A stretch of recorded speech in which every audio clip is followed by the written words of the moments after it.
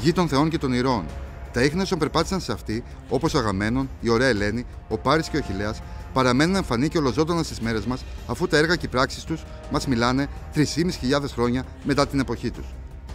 Τα σπουδαία έργα των Μικυναίων είναι εμφανή παντού στην Πελοπόννησο, με το πολύπλοκο και τόσο πρωτοποριακό δίκτυο των δρόμων τους, το ίδιο που χρησιμοποίησαν για την εκστρατεία στην Τρία, να στέκει ακόμα και να μας καλεί να το διανύσουμε κι εμείς, συλλογιζόμενοι το κυκλόπιο βάρος αυτής της κληρονομιάς. Εδώ, στο χωριό Αρκαδικό, λίγα χιλιόμετρα μακριά από τον Ναύπλιο, στέκει και λειτουργεί η αρχαιότερη γέφυρα του κόσμου που χρονολογείται στο 1300 π.Χ.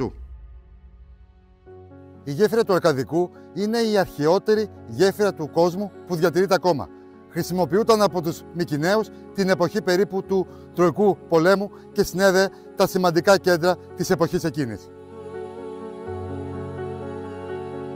Ο τρόπος κατασκευής αυτός λεγόταν Κυκλόπιος και οι άνθρωποι τότε πίστευαν ότι τα κατασκεύαζαν οι Κύκλοπες και φαίνεται γιατί λόγω του όγκου ακριβώς των μεγάλων λίθων.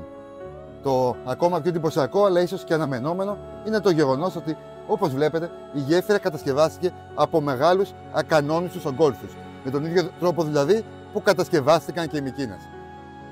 Στην περιοχή, όπου αξίζει να επισκεφτείτε τα δύο χωριά με πλούσια μεσαιωνική και μεταβυζαντινή παράδοση, το Στεφάνι και το Γιονόρι, υπάρχουν άλλες τέσσερις παρόμοιες γέφυρες που κατασκευάστηκαν με τέτοιον τρόπο ώστε να μπορούν να χρησιμοποιηθούν και από επίλατα άρματα για την περίοδο του πολέμου. Το σημαντικότερο όμως είναι ότι χτίστηκαν έτσι ώστε να κρατήσουν για πάντα μια διαρκή υπενθύμηση στους ανθρώπους του σήμερα για το πώς ξεκίνησαν όλα.